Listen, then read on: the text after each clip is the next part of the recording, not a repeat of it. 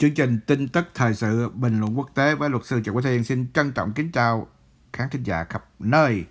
Thì hôm nay chúng tôi nói về một tin tức hết sức ờ, nóng, đó là phái đoàn của Thủ tướng ờ, Việt Nam ông Phạm Minh Chính đã có cuộc gặp gỡ với người giàu nhất hành tinh, thưa quý vị. Xin thưa đây là tổng giám đốc kỳ cựu của Microsoft, ông Bill Gates, thưa quý vị, là người được xem là trong top 3 giàu nhất thế giới trong nhiều năm qua, theo đánh giá của Forbes, vân vân. Thì đã có cuộc gặp gỡ đầu tiên với vị à, giàu nhất hành tinh này. Thì à, ông à, Bill Gates đã đánh giá rất cao những cái nỗ lực phát triển công nghệ, rồi những cái cam kết của chính phủ Việt Nam về vấn đề mời gọi đầu tư vào lĩnh vực công nghệ, công nghệ cao, rồi à, chất bán dẫn, rồi trí tuệ nhân tạo, năng lượng xanh, sạch, rồi à đủ thứ thưa quý vị.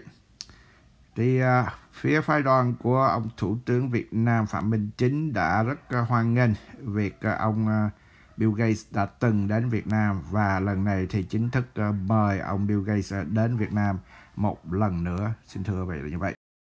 Đại diện cho Việt Nam thì à, ông Thủ tướng à, Việt Nam Phạm Minh Chính đã gửi lời à, cảm ơn chân tình đến với vị à, giàu nhất hành tinh. Cảm ơn những hành động nghĩa hiệp, những hành động từ thiện qua những cái quỹ từ thiện của ông Bill Gates xưa quý vị.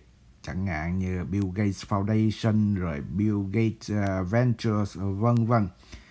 Thì ông tỷ phú này đã có những cái quỹ từ thiện và những cái quỹ đầu tư công nghệ thì phía Việt Nam mong muốn ông à, sẽ có hai vai trò đặc biệt. Thứ nhất à, đó là cố vấn cho vấn đề à, đổi mới sáng tạo của những trung tâm đổi mới sáng tạo của Việt Nam về vấn đề công nghệ cao cấp, đặc biệt là trong cái giai đoạn hiện nay vừa ký kết đối tác chiến lược toàn diện. À, vị trí thứ hai Việt Nam mời là cố vấn à, chiến lược kinh tế thưa quý vị. Với một cái tầm nhìn với một cái tài năng và với một cái um, à, khả năng về tài chính về mọi phương tiện cho nên à, chính phủ Việt Nam mời ông làm à, cố vấn chiến lược về kinh tế. Xin thưa vậy như vậy. Thì à, đây là câu chuyện hết sức nóng giữa một phái đoàn chính phủ Việt Nam và một vị à, đại gia giàu nhất hành tinh. Thì hy vọng là sự hợp tác của hai bên sẽ ngày càng tiến triển và bên phía à, công ty à, Microsoft của ông Bill Gates sẵn sàng à, cho biết là sẽ hỗ trợ Việt Nam trong cái vấn đề những ứng dụng, những phần mềm, những cái gì mà về công nghệ cao, điều khiển học vân vân, những cái ứng dụng về vấn đề viết cái phần mềm, vì công ty Microsoft chuyên về phần mềm về à, internet à, vạn vật về mọi thứ liên quan tới uh, ứng dụng uh, trong uh, kinh doanh trong gia đình trong giáo dục trong mọi vấn đề. Sử dụng uh, phần mềm của Microsoft xin thưa vậy như vậy. Và có thể nói rằng sự hợp tác giữa bên phía Việt Nam những ưu đãi những uh, sự coi như mở rộng cửa.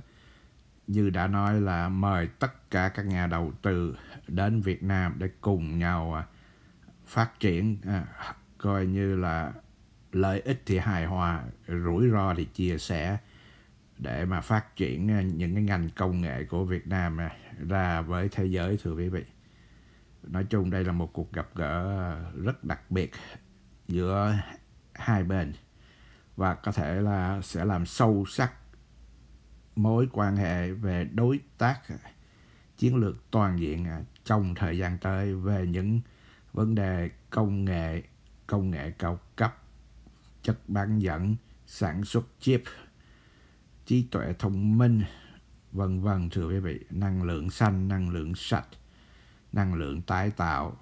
Nói chung là Việt Nam sẵn sàng hợp tác trên nhiều lĩnh vực công nghệ cao sẵn sàng à, áp dụng à, những cái à, biện pháp ưu đãi, những cái chính sách minh bạch, rõ ràng để làm ăn quốc tế. Không riêng gì Hoa Kỳ mà Việt Nam cũng sẵn sàng hợp tác với bất cứ đối tác nào theo tinh thần đa phương hóa. Thì chương trình đến đây tạm chấm dứt. Xin trân trọng cảm ơn quý vị khán thính giả khắp nơi. Xin quý vị vui lòng nhấn subscribe để ủng hộ kênh. Thành thật cảm ơn. Xin hẹn quý vị trong chương trình kỳ tới.